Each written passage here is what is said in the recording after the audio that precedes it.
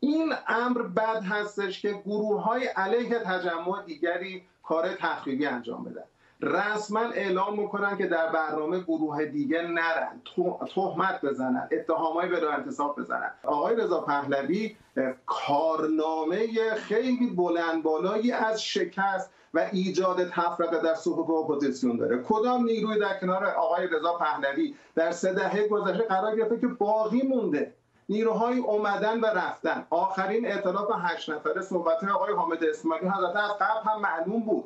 ائتلاف به یک باره که سر مسائل اساسی صحبت نشده. این حرکت ها بارها و بارها انجام شدن و بلافاصله فرو میپاشن و اتفاقا باعث ناامیدی میشن. باعث ضربه زدن به اپوزیسیون میشن. اگر واقعا اینقدر نفوذ بر این طرفداران ندارن که خب وضعیت بغرنج‌تر میشه.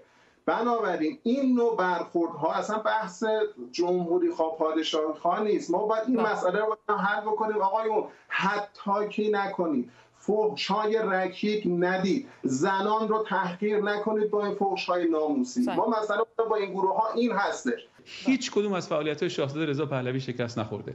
فعالی... آخرین فعالیتی که من خودم درش بودم که ققنوس رو بنیان گذاری کردیم اولین سازمان سیاسی اولین رهبر سیاسی کشور ماست. من دعوت می‌کنم آقای کنگردی یه خروجی و ققنوس رو بدن. من تعجب می‌کنم. من آقای خامنه‌ای صدها برابر آقای پهلوی هم سازمان درست کردن.